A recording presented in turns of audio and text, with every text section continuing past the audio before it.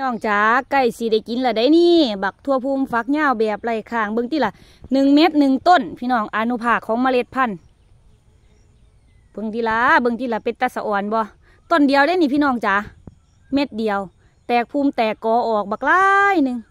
ถั่วพุ่มฝักยาวแบบไร้ค้างถั่วพุ่มที่แปลว่า ฝักยาวไม่มีค้าง กินแซ่บพี่น้องจ๋ากรอบหวานนิดๆนะคะ ปลูกง่ายพร้อม ปลูกใส่ในพื้นที่ประหยัดปลูกใส่ในกระถางปลูกใส่ในถุงปลูกได้หมดนะคะ อันนี้ล่ะปลูกฝากไว้กับอ่าต้นทั่วผู้เด้อ